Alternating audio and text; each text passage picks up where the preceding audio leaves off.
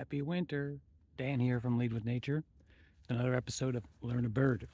but today is not really about a bird, it's about a season. So I want to talk about birds in winter and some of the interesting things that birds are doing you may notice when you're out there looking at them. Basically, adaptations to winter.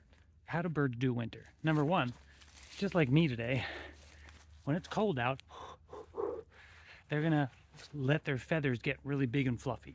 So here I am wearing a puffy jacket. It's full of feathers and it's full of air. So birds on days like this are going to get all curled up together, but they're going to let their feathers get super fluffy and puffy. So birds may look really fat on days like today, um, especially in the early morning. Another thing you may see birds do is they may tuck up one leg so it looks like they're a one-legged bird. That's just them taking one of the only parts of their body that is exposed and not insulated and hiding it up inside their feathers. So probably not a one-legged bird, probably just a bird staying warm. And they'll rotate those legs, you know, they'll alternate now and again.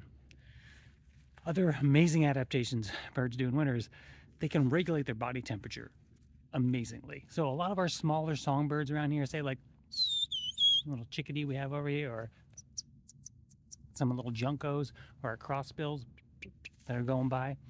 These birds run about 105 degrees uh, Fahrenheit, their body temp around there, but they can lower that down to the upper 80s or even low 90s sometimes at night so they don't burn as much fuel. So they just are able to stay warm and then they can raise it back up during the day. These are just a few of the amazing superpowers or adaptations that birds make in winter. So when you're out looking for birds in the wintertime just ask yourself huh what's this bird doing right now to really thrive in winter because birds are wise. Birds have a lot to teach us. So, for today, that's it. Bird adaptations in winter. And if you like this, I teach an online course called Cold Survivors, the story of wildlife in winter, where we dive deep and geek out and hear stories about all this kind of cool stuff too, with all sorts of things, not just birds. Anyway, peace. Good bird.